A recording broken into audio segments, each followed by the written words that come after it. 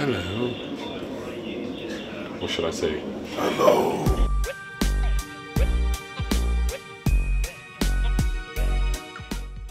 I just got a call saying they'd like you to do a couple of episodes of Doctor Who, but I didn't know what. You know, all I got was a message from my agent saying, you disappear quite quickly, but then you reappear. Could be a bit of fun. The first message I got was, do you have any eye allergies? and I said, why? What are they doing to my eyes? But in the end, it was just a regular prosthetic mask. I've had prosthetics done. This is the fourth time. It's something I'm kind of comfortable with. I just tell myself I'm having a facial. it's all in the head. What?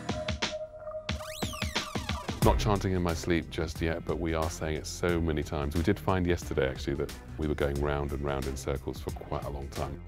When you've said the same phrase over and over, you start to forget what you're saying. So we were hungry, so we were going the dark, the sword, the Big Mac, the Twiglets, which was a bit silly because we did that in rehearsal. Then it comes to shooting it, and suddenly those thoughts are going through your head, and you start having hysterics. But those things also keep it, keep it light.